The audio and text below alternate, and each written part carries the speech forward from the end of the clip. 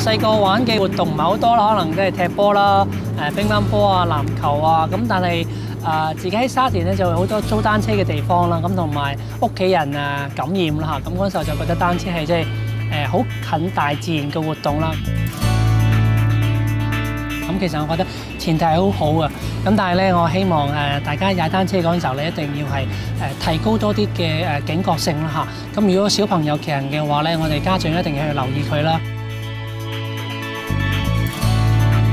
裝備齊全啦，譬如頭盔一定要啦，或者係誒護膝護踭如果有啊更加好，因為誒喺初學嘅時候咧，其實好多小朋友可能都真係會誒跌跌碰碰啊，咁如果可以減低啲傷害咧，會比較好啦嚇。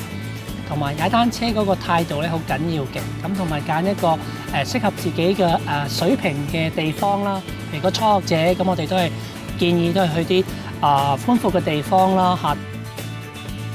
有一部好嘅誒單車啦，即係唔係話一定要好貴，但係佢嘅性能咧一定要係誒安全啊、剎車啊、車胎啊，係一定要檢查得好好。